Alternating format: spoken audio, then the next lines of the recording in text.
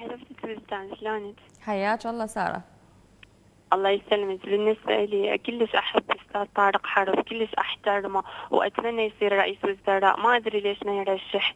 وبالنسبة لي طالع حلوة قبل بدون حجاب. وبالنسبة للموضوع عندي خطيبي ست وجدان شنو حبيبتي؟ ألو. وياك. الله يسلمك حبيبتي الله يحفظك. بالنسبة لأني خطيبي عندي خطيبي تشابه أسماء وهمين مليون شاهد جبنا وما يفيد وكلش مشاكل صارت لنا ولحد هسه كل شيء ما أعرف عنه حتى لا أقدر أتزوج لا أقدر أنخطب لا أقدر ما أعرف كل شيء هاي كم سنة صار سارة؟ صار له ثلاث سنين أربعة. يعني تصوري حتى ما أقدر أتزوج. يعني أبقى عايشة على حب ولا شو أسوي؟ والله ما أعرف. وأستاذ طارق حرب. يعني أشوفه يعني إنسان حقيقي واقعي ويحكي الصدق. بس ما أدري ليش ما يصير رئيس وزراء هسه نسأله أشكر سارة أستاذ طارق يعني هالقد ما ندافع إحنا على حقوق الإنسان. همزين خلف الله ما قالت يصير أمين عام امم متحدة. أنا رجال عجوز ويني وين السوالف؟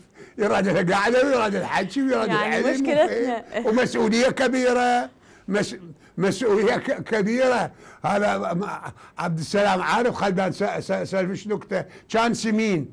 صار رئيس جمهورية صار ضعيف. أنا ذاك الوقت كنت نائب عريف. يعني قريب يمه قلت له سيدي شو أنت من قبل من كنت خارج الخدمة سمين. فعلا سمين كلش. من صرت رئيس جمهوريه صار ضعيف. قال لي طارق مراد لكم كل واحد رئيس جمهوريه بجيبه أنتم. كل واحد رئيس جمهوريه بجيبه خاطر يحاسبه فهذا إحنا راد لنا كل واحد رئيس جمهوريه ليش رئيس جمهوريه بسيطة؟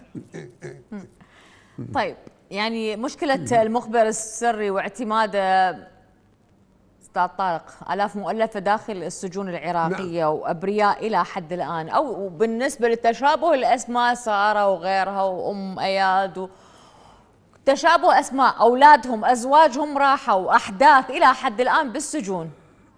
يعني شلون بدنا نعالج هاي قانونيا شك من من تشابه أسماء يسموه شك. الشك يفسر لمصلحة المتهم. الشك يفسر لمصلحة المتهم. كل شكينا بشيء. هل حصل أم ما حصل؟ يفسر لمصلحة المتهم. لم يحصل. شوفوا له حضرتك. قانوننا وأعيد وأقول لو لو تكرموا علينا بتعديل قانون الأصول الغاء فقرة المخبر السري إلغاء الحكم الخاص بالاعتراف.